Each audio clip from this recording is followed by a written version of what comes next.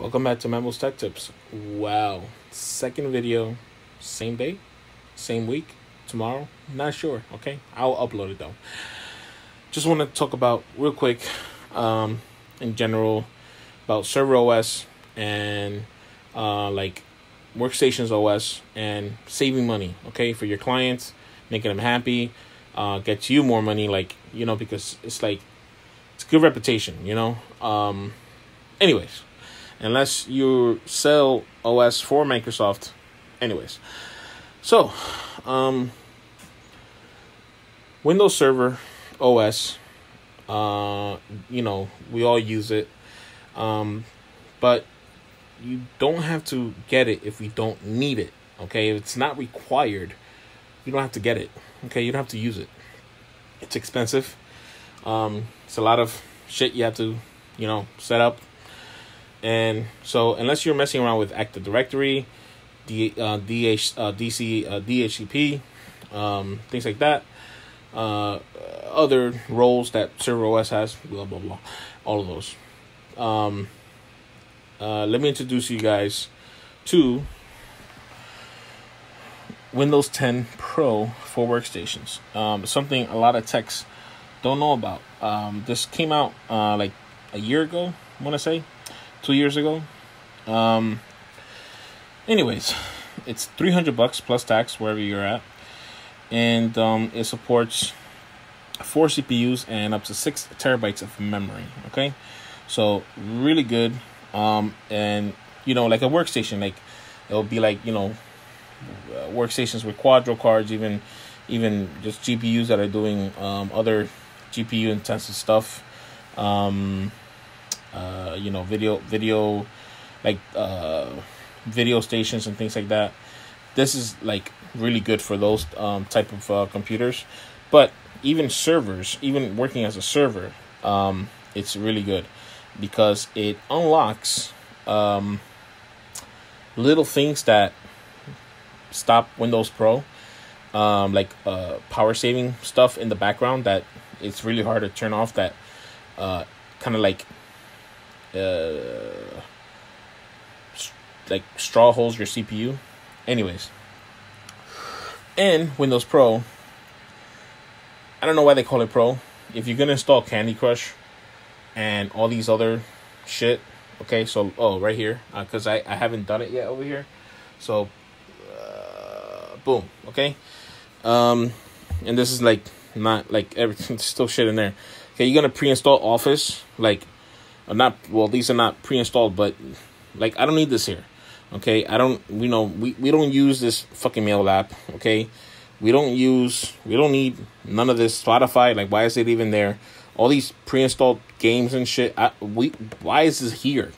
Why? Anyways um, i'm gonna i'll come back and i'll show you a fresh install of windows 10 for workstation. Um the problem is that they don't have an ISO for this. Okay. Oh, let me go back to real quick. So advanced performance, right? It unlocks. You know when you go to the power. So power and savings. In um, well not here. Uh, right here.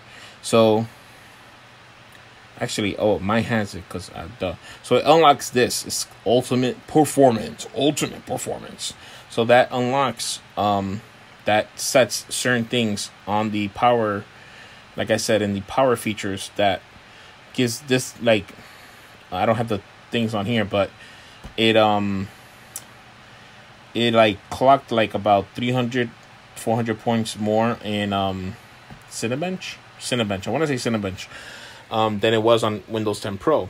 And I see that from every station, not every station, a few stations that I've done it to. So it definitely helps for performance.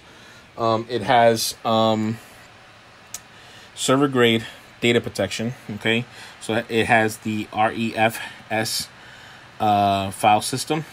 Okay, so Microsoft Resilient File System. Um, have not really messed around with it, uh, but it um, is if you look it up, it's something to do with duplication, like mirroring and uh, their backups like like it's almost like raid, but it's not raid. It's I'm I'm just really hard to I, I suck at explaining things, but you guys can look it up. Um, and again, four CPUs, see, uh, six terabytes of memory. Okay. Um, so no ISO on this. Okay. So what it says here to do for uh, Windows 10 Pro, uh, I had it here. I don't know where I put it. Anyways, what the when you buy it, it tells you to download the media creator, and then when it asks you for the product key, to put the product key. Well, when I put the product key, it's like invalid product key. Okay, um, it, it does the list doesn't even contain um like Windows 10. It like you know how it contains Windows 10 uh home, then like you know uh home and uh blah blah blah network. Like it contains the list. Like windows 10 pro for workstations is not on that list. I try to get it. Is like nowhere. So the uh, even even online what so the way they do the way another way to do it is you install windows 10 pro then you go to the activation window to um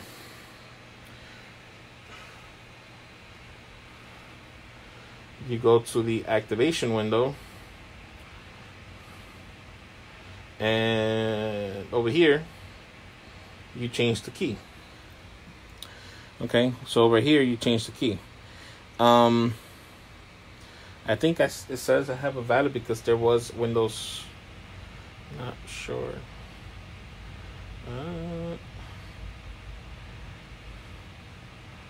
anyways so you change the key here and then it'll it'll say Windows 10 Pro for workstations. Um, then it'll like download a few files. You can reboot, and then you'll have that ultimate performance option. But it still has like the bloatware. Okay, so if you want a fresh install, right, of Windows 10 Pro, what you do is you um you reset. Right, so once you have it, once you have it installed, it now you have a digital license to the computer. So you do a um, a, a reset of this PC and you do a don't save anything. And what it does is, from what I see, uh, what I test, it either downloads the ISO, the win- uh, Windows Pro uh, for workstation ISO, installs it, uh, or downloads Windows 10, uh, and then it activates the, it does the key because when you go in, and I'll show you guys uh, once I do it, there's no bloatware. There's just Windows 10 Pro for workstations, and it's like so clean. Um, so yeah, so oh, so instead of, you know, let, let me go back real quick to system requirements, like I was talking about.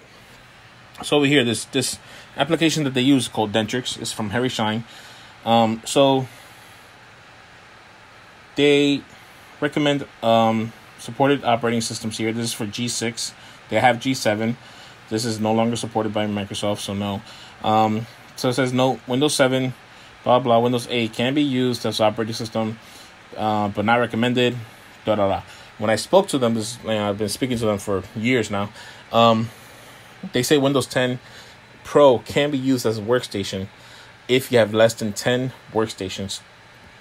Um, sorry, if Windows 10 can Pro can be used as a server operating system if less than 10 workstations are being are activating are accessing the server at once. Okay so at once meaning concurrent. Okay so and if you go to their new um, g7 you have to update this because it says windows 7 windows 7 is no longer supported does have Windows 10 on there, and then it says Windows Server 2008 R2 and higher. So here it even says it here like eight, eight gigabytes of RAM, less than 10 workstations, 16 gigabytes of RAM is on the server, more than 10 workstations. So there's something about 10 workstations that it just um it needs that. Okay, so yeah, whatever. Yeah, more workstations, more RAM you need to access. Okay, um, so Windows discontinued support for Windows 7. So I mean they I mean okay they have the um they have the little stars. I didn't see that. Um it can still run, but it's no longer supported and uh, this being a medical office no longer HIPAA compliant. Um So, and then it says server essentials, including uh, essentials role uh, and small business are currently not supported due to port conflicts with backups. So, um, they they say definitely don't run those, okay? But you can run Windows 10 Pro or better Windows 10 Pro for workstations. Um, and by the way, the the whole performance boost um, uh, usually comes with like higher like like it, from what I've seen, I have this i7, but it really affects the uh, Xeon processors. Um, and I think Windows 10 pretty I have didn't look at it. I think Windows 10 Pro for workstations um, does support uh, ECC memory. So uh, it's really good. Uh, take a look at it, um, study it. Um, so oh, you're so you, you know you're gonna save your client. So let's say you buy the the, the um, license for Microsoft. It's a thousand three hundred thirty five cows, right? Well, we actually need ten cows here, so ten cows, a thousand five hundred twenty-eight. Buy from Micro Center, the OEM. Um, that's eight hundred for the OS and two packs of cow right? That's a thousand two hundred, pretty much almost same thing. Well, not really. It's a difference of two hundred dollars.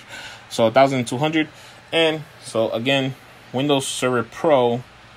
No, I'm sorry, OS uh, Pro for workstations uh, cost uh, uh, three hundred bucks plus tax. So you're saving your client around a thousand dollars. A thousand dollars that could be used towards networking equipment uh, upgrading the server, more RAM, more mem- uh, more SSDs, um, or even getting a whole new server. You know what I'm saying? Like that's That's what's crazy about it. You can get I can get literally a better server, saving that thousand dollars. I can get her. Uh, there's a 2013 server, 2012 server. Uh, it doesn't even have USB. Like I said in the other video, USB three. Um, so I can get her a way better server for that money. Um, so I'll be back. Uh, I think I don't know how to splice this together. I'm so bad, and show you guys Windows Server 10 Pro.